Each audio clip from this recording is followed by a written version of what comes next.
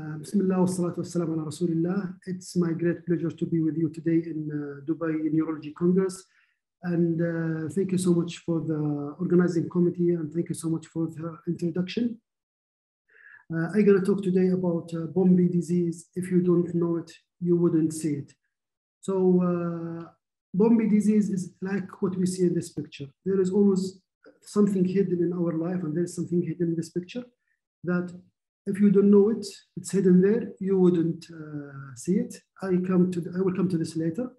So I will start my presentation with uh, one of my patient's story, who is an 18 years old uh, boy now. Uh, he had uh, the symptoms since age of uh, six, seven years. At that time, he was complaining of severe muscle pain every time he does exercise or he play football or he runs. Uh, the uh, pain was mainly in the calf muscle, but also sometimes he has uh, generalized muscle pain. he used to visit the ER every time he does an exercise, or sometimes also he visited ER with the urine discoloration, as we can see in this picture he had multiple differential diagnoses. Sometimes he, they told him that he has an anemia or vitamin deficiency that caused his muscle pain. He received multivitamin, multiple uh, vitamins, and uh, he was recommended to have uh, physical therapy, but never improved and never uh, did the accurate diagnosis. And as we see, as we know, sometimes when we don't know the diagnosis, we just guess uh, the diagnosis, and that's what was happening with him uh, every time. So eventually he was seen by one of the neuromuscular and he was uh, diagnosed as uh, Pompe disease and uh, confirmed by a genetic test and uh, enzyme assay. So what is Pompe disease? Pompe is uh, it's one of the lysosomal storage disease. There is different name for Pompe disease. Sometimes we call it acid maltase deficiency. Sometimes we call it glycogen storage disease type 2, and some uh, sometimes we call it alpha uh, glycosidase uh, deficiency. So uh, it's uh, we have two type of uh, Pompe disease, and we're gonna talk about the difference between two types. so before we go further in Pompe, we need to know what is the lysosomal. Lysosome, it's a structure that exists in, in the, inside the cell, which is here, the small uh, structure here. And the lysosome will contain of the mem membrane and many different enzymes inside this lysosome. It's, uh, it's work as a, a, container of different type of chemicals, uh, and each one of those chemicals has different function. So those are the list of the chemicals, and those are the list of the uh, like uh, the disease that we get or the material that we use the enzyme for. The main function of this lysosomal enzyme is to clean our body from the toxin that we have in our body. And that's also applied to Pompe or to, uh, to acid uh, uh, glycosidase deficiency. So Pompe disease, it's an autosomal recessive disease. So when we say an autosomal recessive disease, we know that it may affect 25% uh, of the, in each pregnancy if the uh, dad and mom are carrier. It's uh, the incidence worldwide is one in 40,000, and that also varies based on the on the ethnicity and the community. And the genetics, uh, the gene that causes this is GAA gene that's located in chromosome 17q. Uh, and there is different type of mutation, more than 100, 300 different mutation reported with the Pompe disease. There is two main type of Pompe. We have either the infantile onset Pompe disease or we have the late onset Pompe disease. And that mainly depend on how much enzyme we have. But the way to differentiate or the uh, borderline between these two, infantile and the late, is age of 12 months. So if the person has, or if the patient has cardiac symptom, cardiomyopathy, before age of 12 months, we call it infantile onset. And if he is more than 12 months and he has no cardiomyopathy, so we call it late onset.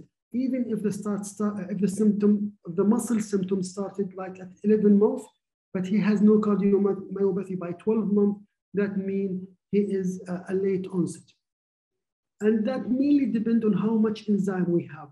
If you go back to this slide, When we have less enzyme, we have more symptoms. And we have, when we have more enzyme, we have less symptom. So that's what's happening also, uh, that's what's also seen in this slide. In the infantile type, when they have an early onset in infant age, so that means we have less enzyme.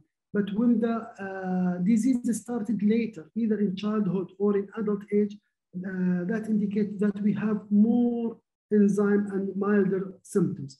This is another graph showing the percentage or the amount of the enzyme we have. When we have an infantile onset, it's very small amount of the enzyme. The childhood onset, it's a bit more. And when it's in adult age, that means we have even more and more and more enzyme and that gives milder symptoms. So what's the late onset uh, Pompe disease or why we have a late onset Pompe disease? It's mainly depend on how much acid alpha glycosidase we have. The main function of acid alpha glycosidase, which is one of the lysosomal enzyme, is to convert the glycogen in our body to glucose. So in case that we have no alpha, uh, no acid alpha glycosidase, if we have a deficiency in this enzyme, that means we will have high amount of glycogen stored in our body and we'll have less glucose. And that glycogen will uh, accumulate in our muscle and it will convert our muscle from this normal shape, normal structure muscle to this and that will give me the respiratory symptom, uh, the muscle symptom, and the respiratory and the GI symptoms. So every like uh, with time, with age, we will accumulate more glycogen, and our symptoms will become even worse and worse uh, till we start uh, therapy. So, uh, what is the main sign and symptom that we see with uh, late onset? As a neurologist, we always focus about the neurological symptoms, which is in this case the uh, musculoskeletal symptom. So the patient will present with uh, proximal muscle weakness, will have muscle pain, muscle fatigue, muscle cramp. He will be uh, like uh, not willing to do a lot of activity because he will know that it will trigger uh, uh, pain and cramp. Usually they have abnormal EMG, they have an elevated CK, and sometimes even MRI muscle will show some changes in the MRI. Also, they may develop like scoliosis uh, with time, but it's not an only musculoskeletal. It's also, they may have respiratory symptom that varies from uh, mild uh, dyspnea to severe respiratory failure and insufficiency. Also, the GI symptom could have mild constipation to severe uh, swallowing and uh, chewing uh, problem. Also, it may affect the cardiac, though we don't anticipate to see significant cardiac symptom in uh, late onset uh, Pompe. So in this uh, slide, we look like this study looked for 48 studies and uh, they look for the commonest uh, symptom that we see over uh, the late onset Pompe, and hyperCKemia was the commonest uh, in uh, 13 uh, study. proximal muscle weakness was 11, and in 11 study, the commonest finding in 11, uh, respiratory symptoms, uh, muscle weakness, fatigue, sleep disturbance, uh, tongue weakness, which is unique in Pompe disease. So all those were like symptoms reported with Pompe disease. In this collection of study, uh, they look for adult with unexplained limb girdle or proximal muscle weakness. Uh, and those patients were not diagnosed on as Pompe, but with time they discovered that they have Pompe. So in first study here, uh, they looked for 102 patients, five of them were Pompe.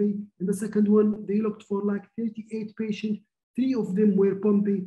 Uh, the third one, 144 uh, uh, patients, and 15 of them turned to be Pompe, 79, then one of them were Pompe, 427, 11 patients were Pompe, and here uh, 2,338 and 63 patients turned to be Pompe.